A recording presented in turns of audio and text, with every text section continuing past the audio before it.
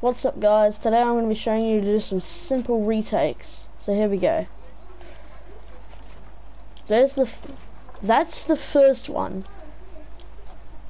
Now I'm going to be showing you how to do, so this one, all you have to do is this. You got to place a floor, and then a floor up, and then you place a ramp, and then you jump, and then you place a wall there, a floor there, and a, and a stair there. Sim very simple and very easy to learn. This is the second retake.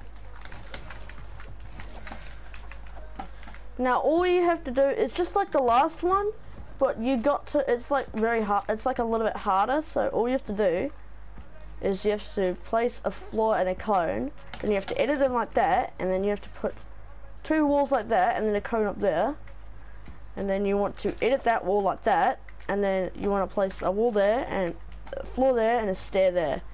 Not hard it's very very simple and easy to do but like this is the third retake. It's like the first one but you got to edit it.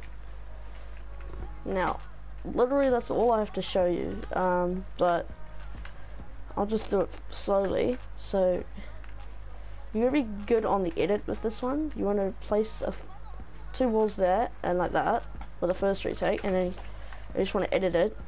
I can you can edit it like that or like that, or like that. Really doesn't matter. But um, yeah. Anyway, guys, thank you for watching. And I'll see you in the next one.